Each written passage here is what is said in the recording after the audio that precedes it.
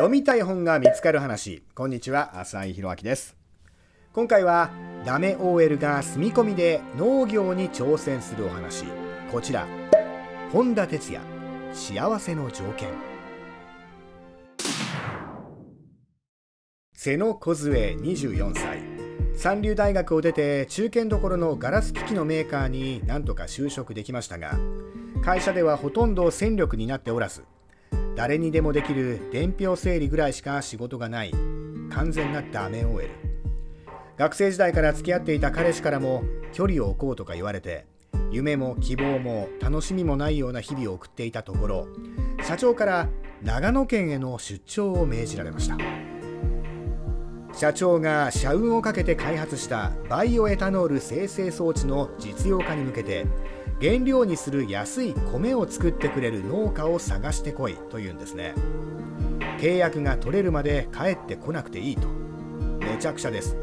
よくわからないまま単身長野に渡り飛び込みで農家を訪ねてみる梢ですが言うまでもなく剣もほろろうちは食べるための米を作っているんだ。燃料にする米なんか作っている暇があるわけないだろう。まあそりゃそうです。落ち込んでいたところへ話だけは聞いてくれたのが安岡という男。梢も梢なりに一晩必死に勉強して説得します。農業を営む上で農耕器具を動かすガソリンはどうしても必要です。バイオエタノールを使ってその燃料まで自給自足地産地消にして電気は田んぼの水で水力発電で賄えば完全なカーボンニュートラルが実現できる。そんな梢の言葉に安岡はまあ一理あると理解を示してくれます。ただ金銭面でどう考えても折り合わない。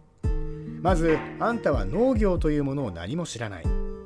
どうせこのまま会社に帰っても居場所はないんだろう。だったら腹をくくってひと夏うちで働いていけ。というわけで見ず知らずの農家に住み込みでお世話になることになった梢頑固だけど誠実な安岡と美人で優しく世話をしてくれる妻の君江さん。可愛い高校生の朝子そして安岡の会社で働く何人かの従業員。みんな東京からやってきた新参者の梢を優しく迎えてくれて農業のいろはを学んでいきます。人の口に入る食べ物を自ら作るという喜びと幸せそして苦労。現代の農家が抱えているさまざまな問題。一つ一つ身をもって経験するうちにダメ OL だった梢は成長していきます。というようなお話。文章のタッチが非常に軽快で楽しい本でしたね。この本田哲也という人はどちらかというとダークな怖い小説を得意としている作家だと思うんですがこういうコミカルな文章もうまいんですね。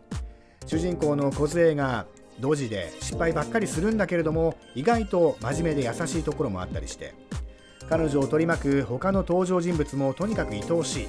たくさん笑って何度もほろっときます。読者は梢というダメ OL の体験を通して農業というものについて詳しく勉強することになります。農家の人々の暮らしについてそして野菜やお米がどのようにして作られるのか。田植えとか稲刈りなんていうのはお米を作っていく全ての工程のうちの1%ぐらいのものなんですね。その前後にやらないといけないことが山ほどある。そういうことについても興味深く知ることができますしバイオ燃料のことや食料自給率のこと無農薬のこと知っているようで知らない農業の実態をたくさん教えてもらいました。読んでよかったと心から思える素晴らしい作品でしたね。世代を問わずぜひ読んでみてください。以上今回は本田哲也幸せの条件を紹介しました。I hope you become a book lover. Adios.